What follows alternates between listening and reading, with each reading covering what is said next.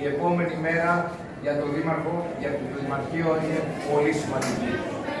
Όλοι μας, ως μία γροθιά, θα δουλέψουμε για το καλό του Δήμου μας. Ενωμένοι, ενωμένοι. Το ξανά, το, το τονίζω, είμαστε ενωμένοι για το καλό του Δήμου μας και το καλό όλων των Δημοτών.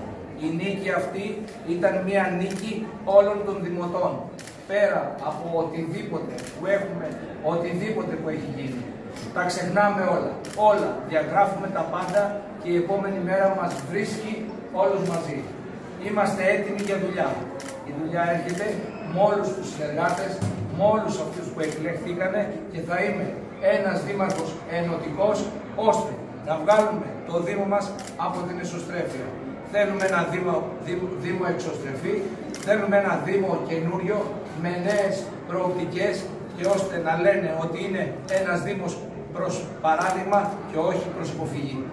Ευχαριστώ όλους τους συνεργάτες μου, ευχαριστώ όλους αυτούς που με ψήφισαν, καθώς επίσης και αυτούς που δεν με ψήφισαν. Θα ανταποκριθώ σε όλους τους δημότες. Σας ευχαριστώ πάρα πολύ. Παρακαλέσουμε.